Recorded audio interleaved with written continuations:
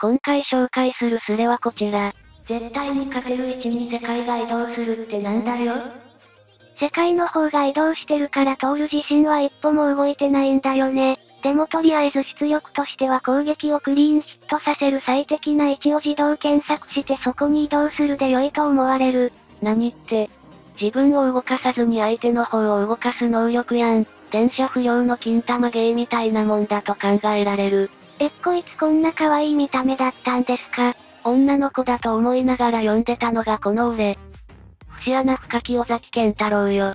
こいつのこともこいつの出る作品のことも全然知らない上で適当言うんすけど、相手の攻撃が絶対当たらなかったり逆に相手には絶対致命傷になりうる攻撃を繰り出せる位置に世界側が勝手に調整するって感じじゃないんすかね。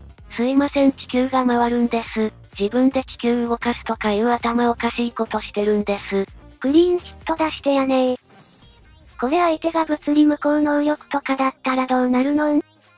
とりあえず比較的ベストな有利になれる位置になるんじゃないすか？あれクズ知らないのか？トール棒は物理が手っ取り早いから使ってるだけなんだぜ。端的に言うと必ずクリーンヒットや最適で出す能力ってめちゃくちゃ強いと思うけど見栄えめっちゃ地味そうなのん。うむ。ぶっちゃけ絵面はただテレポートしながら殴ってるだけなんだなふーん常に金玉にタゲ集中ということか。実際ミョルニルのブーストなきゃしょぼいって本人言ってるシムスジメアワキもできる可能性あるとか言われてるんだ地味さが深まるんだ。この魔術の上積みの比較対象に名前の上がるレベル4は、いいんだテレポート系最大出力の能力者はこれくらい許される。どけよくわからないやつ、最強はこのキルポイントがいただく。確かに四角には回れるけど、攻撃を通すのは大丈夫か？あわはお前は空間系能力とかいうレア分類のくせに他人の位置情報で補強しないと能力の発動すらできない演算力弱き者。こいつが上条に負けたのは納得いかなかった。それが当時読んだ時の僕です。上条が当てようとした戦いに関係ない電車ぶつかってたら多分負けてたんで絶対勝つか引き分けられるが割と防御はペラインだ。誰かと戦ってる時とかに第三者が核爆弾落としたら死ぬと考えられる。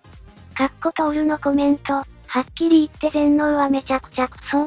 雑魚は殴ってるだけで終わるし地球一つ程度なら強い奴は全部消し飛ばして終わるから被害がでかすぎて話になんねえよ。無復帰害を抑えて経験値稼ぎもできる上条ちゃんと殴り合いしようね。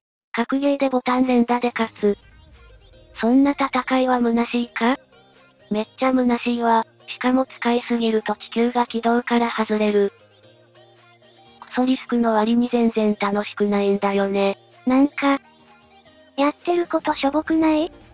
地球を動かすエネルギーを直接相手にぶつけた方が効果的と思われるが、完成で地球表面が吹っ飛ぶなんてこともないからそういうものなんだよね。ただ単に勝つよりもトールが敵に直接殴り勝つってことの実現の方が重要なんだ悔しか。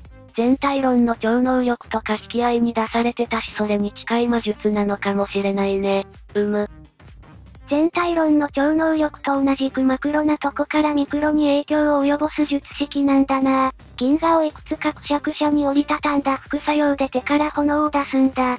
ワープ用の自動再配置とかじゃなくて地球が動くことで位置がずれてるってことはこの人はドラえもんみたいにちょっと浮いてるとかなんすか？そうじゃないと地球が回ったところで自分も同じだけずれて終わりっすよね。これだけ応用なことやれてるから自分の位置を常に固定しておくくらいの融通は効くと思われる。同じ系統の魔術の骨線は上条さんも動かせるんだ。多分地球を下にでも動かしているのだと考えられる。細かい制御が効くトールの方が骨線より上なのかもしれないね。まあ魔人スペックと比べたら。くくく、ほう、血のり使いか。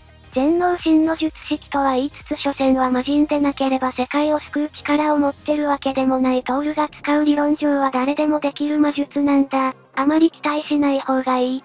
今回の動画は以上です。ご視聴ありがとうございました。